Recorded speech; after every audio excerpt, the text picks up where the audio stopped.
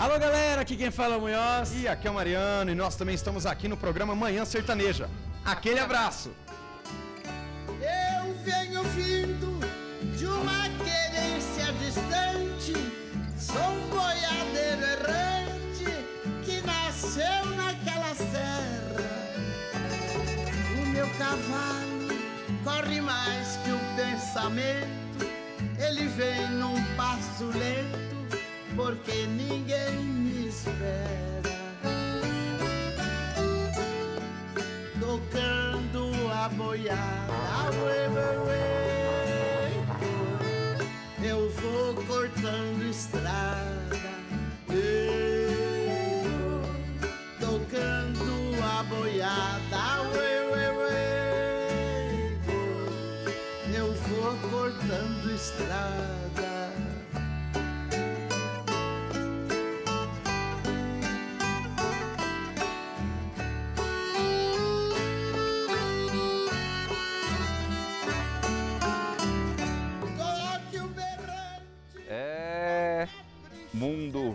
Velho sem porteira. E aqui, ao lado desses bezerros, né? Ouvindo ao fundo aí, Inesita Barroso com essa moda apaixonada. Homenagem aos peões. Olhe na janela, ué, ué, ué.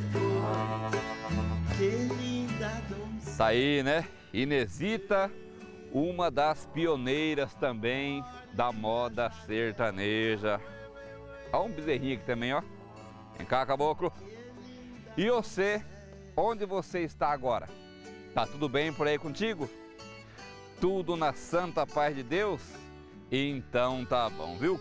Aproveito, quero falar com o nosso povo em São Mateus, Grande São Paulo, né? Mandar um bom dia para a comadre Denise Pereira. Ô Denise, uma Denise ligou pra gente, né? E passou uma relação aqui dos nomes para a gente incluir na Sagrada Corrente Ecumênica de Oração.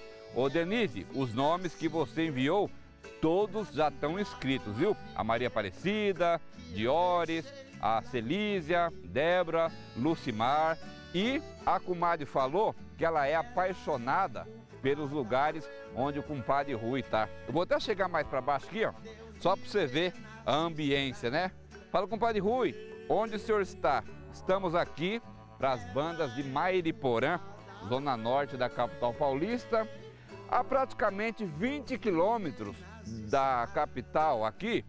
E você já encontra essas paisagens, o gado pastando. O pessoal acha que para essas bandas não tem? O trem aqui tá chique por demais. E por falar em chicura, em chiqueza, o Padre Edil segue aí com Sudimar e João Ricardo. Vamos combinar de vocês mandarem dois CDs para dois telespectadores? Vamos, vamos Ou sim. telespectadoras, né? É o- ah, só lembrando, ah, Edilson, que é os dois primeiros que ligarem. Os dois primeiros. Os dois primeiros que Isso. outra vez ligou Vai ficar muita juntando aí? É, ligou muita gente. Acabou a bateria. Até ficaram bravos comigo. Falei, gente, vocês não batem em mim, não. Vocês pegam o Edilson, que foi ele que Não, ganharam dois dele, dois meu e foi E aí dando, foi. eu falei, Então é o seguinte: 19 9759 9192 9759-9192. e tem também o 8135. 8862. Pronto. Tá aí na sua tela.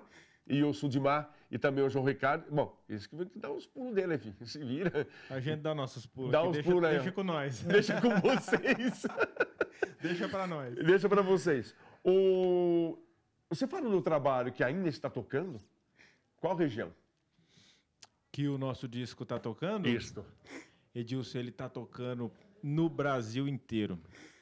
Esse disco, a gente tem, tem recebido ligações de São Luís do Maranhão, Que legal. Foi Santa CD Catarina. São Luís do Maranhão. de Rondônia. é, O- Quando nós gravamos seu programa aqui, eu mandei CD para Porto Velho. Você falou do norte. E mandei também para o Ceará. Nossa, Nordeste. Tá O? Ceará. É Fortaleza. É Ce- Ceará, é. Muito legal. Você falou do Ceará, deixa eu lembrar da Russas. Russas é um- uma cidade do interior do Ceará.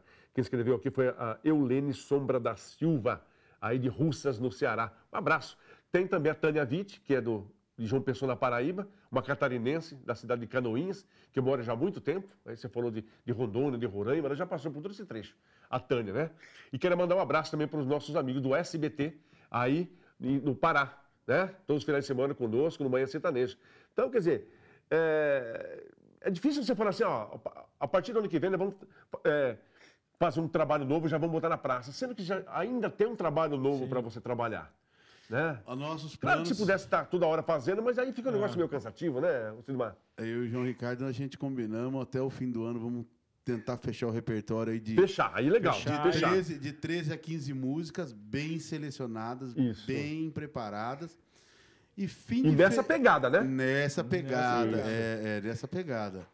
E fim de fevereiro, começo de março, a gente entra em estúdio. E possivelmente fim de julho, começo de agosto, você de novo está na praça. Ótimo.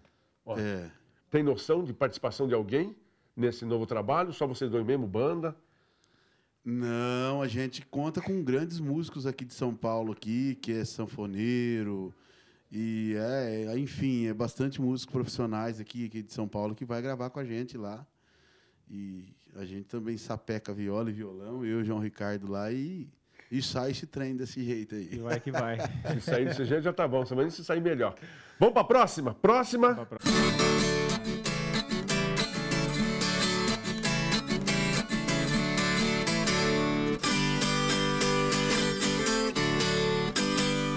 Vejo um velho boiadeiro com suas pernas enfraquecidas, sentado em sua varanda pensando na sua vida. Lembrou da sua infância quando ainda era um menino, da primeira comunhão do badalar no velho sino. Lembrou da sua mocidade, da primeira namorada, da sua primeira viagem transportando uma boiada e do seu primeiro cima de um bacheiro. Primeira queima do alho junto com os companheiros.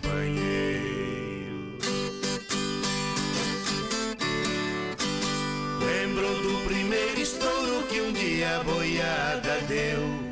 Lembrou do primeiro amigo que nesse dia perdeu.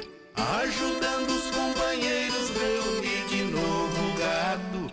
Do seu cavalo pelos campos foi pisado. Da primeira travessia no perigoso Araguaia, enfrentando a correnteza no lombo da mula baia.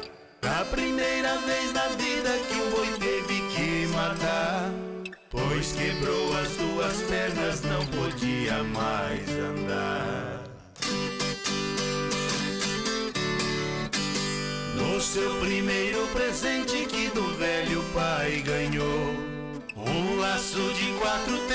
que ele mesmo trançou e que ainda ele tem na parede pendurado.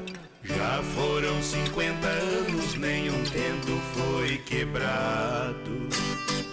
Da primeira vez na vida que ele mesmo percebeu que os anos tinham passado e seu corpo envelheceu.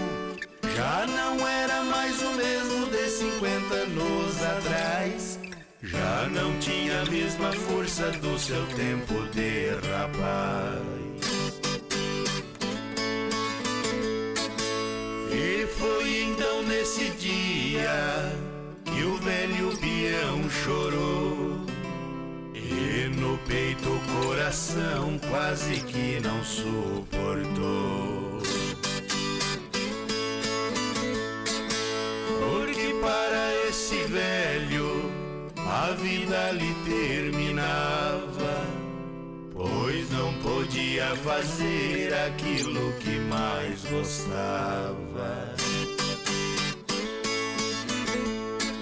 O resto da sua vida viveu de recordação.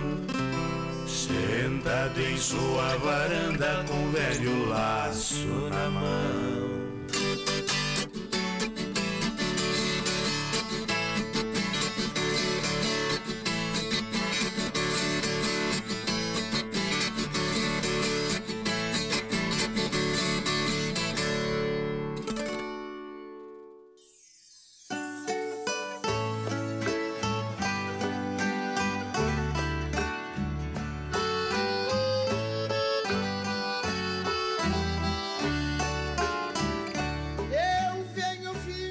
Olha, aí analisando aqui, né?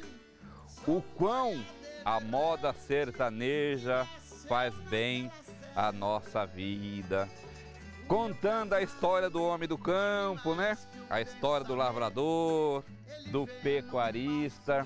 E hoje nós aqui, agraciados, abençoados, nesse lugar chique, né? Boa Vontade TV, Manhã Sertaneja, proporcionando ao você essas coisas maravilhosas.